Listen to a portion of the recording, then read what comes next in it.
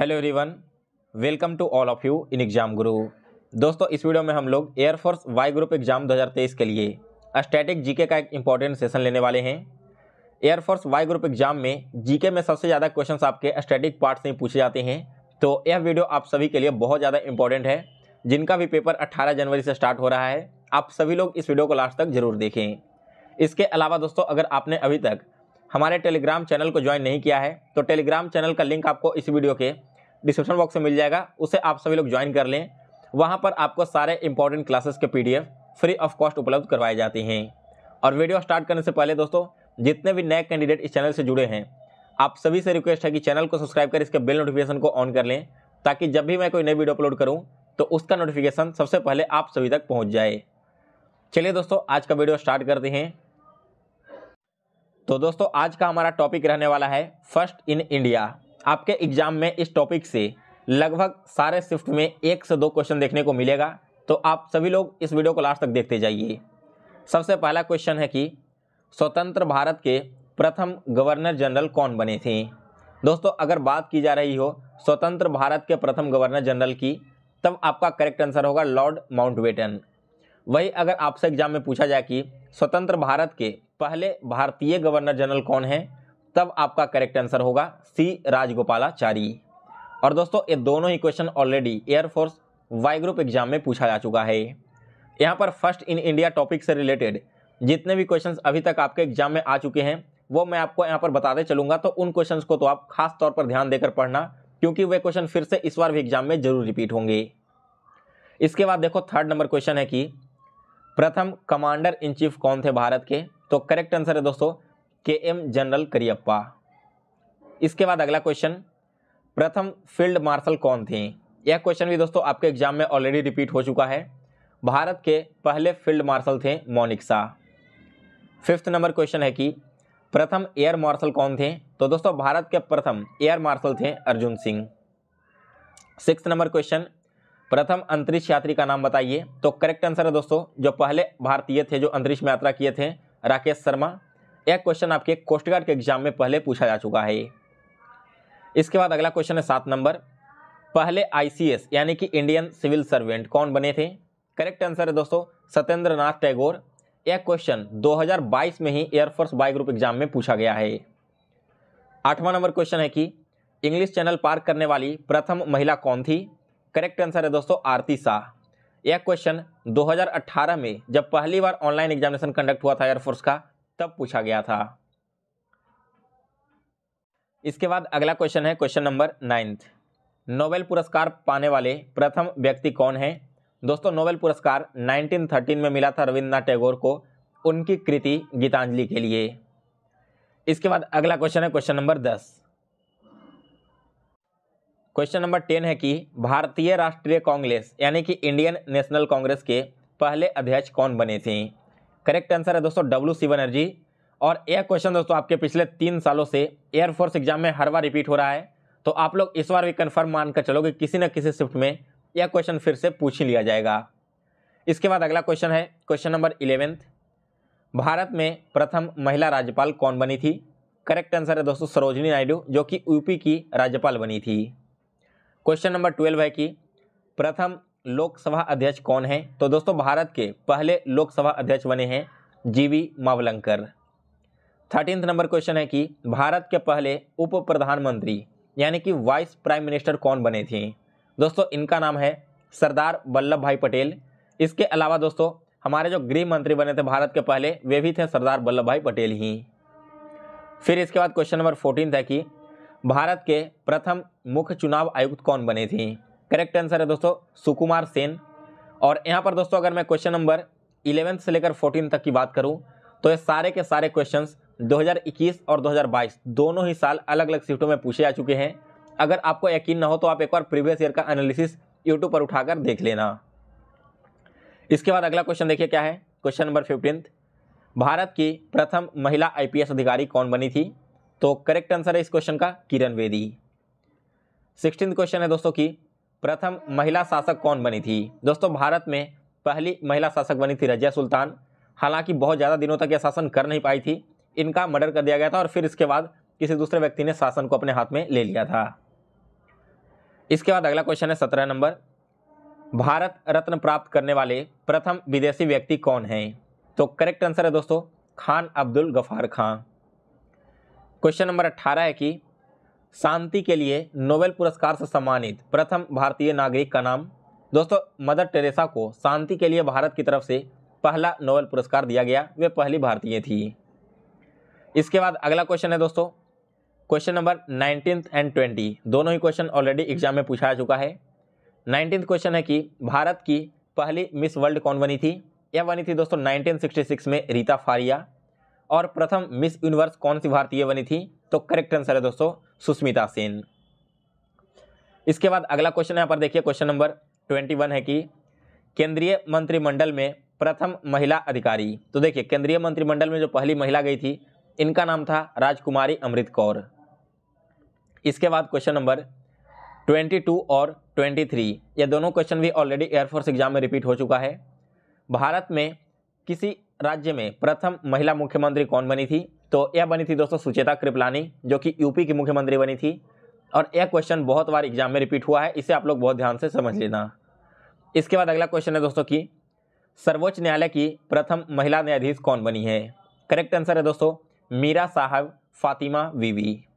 इसके बाद अगला क्वेश्चन है चौबीस नंबर। योजना आयोग की प्रथम महिला अध्यक्ष कौन बनी थी? दोस्तों करेक्ट आंसर है इंदिरा गांधी। इसके बाद अगला क्वेश्चन है पच्चीस नंबर।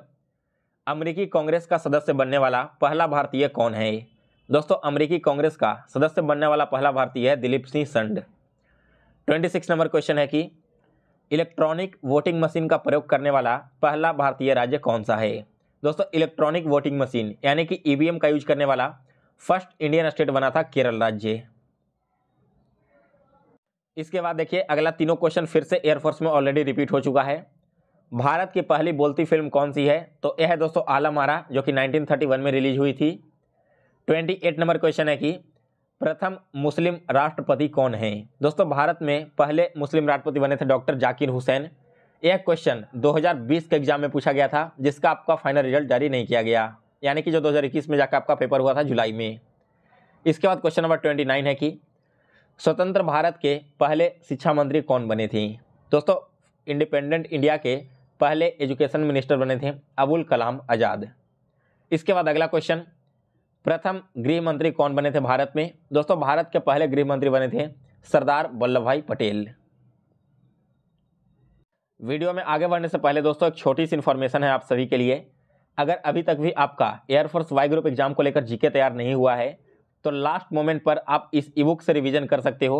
इसमें टोटल 40 पेजेज हैं और अगर इस 40 पेजेज को आप पढ़ लेते हो तो मैक्सिमम क्वेश्चन आपके एग्ज़ाम में इसी ई बुक से पूछे जाएँगे। इसी ई बुक के साथ मैं आपको करंट अफेयर्स का पीडीएफ भी दे दूँगा। प्लस एक टेन थाउज़ेंड का एसएससी का जीके का पीडीएफ है, जिसमें भी आपके history geography polity science and static GK topic wise include दिए गए हैं। इस ई बुक को अगर आप परचेज करना चाहते हो तो आप मुझे व्हाट्सएप पर मैसेज कर देना। Nine four three double zero four two eight four eight ये मेरा व्हाट्सअप नंबर है। मैंने अपना व्हाट्सअप नंबर इसी वीडियो के डिस्क्रिप्शन बॉक्स में भी दे रखा है। चलिए दोस्तों, आगे बढ़ते हैं देखते हैं अपना अगला क्वेश्चन नेक्स्ट क्वेश्चन है question number thirty one Bharat के प्रथम वायु सेना अध्यक्ष कौन बने थे? इनका नाम है दोस्तों, एयर मार्शल एस मुखर्जी. इसके बाद अगला क्वेश्चन है थर्टी टू नंबर भारत में प्रथम जल सेना अध्यक्ष कौन बने थे? करेक्ट आंसर है दोस्तों वाइस एडमिरल आर डी कटारी. इसके बाद अगला क्वेश्चन है तैतीस नंबर भारत में प्रथम परमाणु रिएक्टर कौन सा था? तो इस क्वेश्चन का करेक्ट आंसर होगा दोस्तों अप्सरा, जो कि ट्राम्बे में बनाया गया था। अब जहाँ तक मुझे याद है दोस्तों, पिछले एग्ज़ाम में क्वेश्चन इस प्रकार से पूछा गया था कि भारत का जो प्रथम परमाणु रिएक्टर है अप्सरा, उसका निर्माण कहाँ पर हुआ है, फिर कहाँ पर स्थापित है, तब आपका करेक्ट आंसर ट्राम्बे दिया गया था, इसलिए मैंने यहाँ पर हिंट में आपके प्लेस का नाम भी ऐड कर दिया है। फिर इसके बाद है क्वेश्चन नंबर थर्टी फोर। यह क्वेश्चन भी दोस्तों शायद मेरे ख्याल से 2019 या 20 के एग्ज़ाम में पूछा गया था। प्रथम, परमवीर चक्र प्राप्तकर्ता कौन है? तो करेक्ट आंसर होगा इस क्वेश्चन का major Somnath Sharma. Thirty five number question है कि, भारत की प्रथम मिसाइल क्या है? दोस्तों, भारत की पहली मिसाइल का नाम है Prithvi. Thirty six number question है कि, भारत में स्थापित प्रथम परमाणु केंद्र कहाँ पर है? दोस्तों, यह आपका है तारापुर परमाणु केंद्र। Next question number thirty seven Nobel पुरस्कार से सम्मानित प्रथम वैज्ञानिक कौन है? दोस्तों, सन 1930 में सी वी रमन को नोबेल पुरस्कार दिया गया था भौतिकी के लिए। इसके बाद अगला क्वेश्चन है थर्टी एट नंबर सर्वोच्च न्यायालय के प्रथम मुख्य न्यायाधीश कौन हैं? यह क्वेश्चन भी दोस्तों आपके air force Y group exam में एंड कोस्ट गार्ड के एग्ज़ाम में ऑलरेडी पूछा जा चुका है।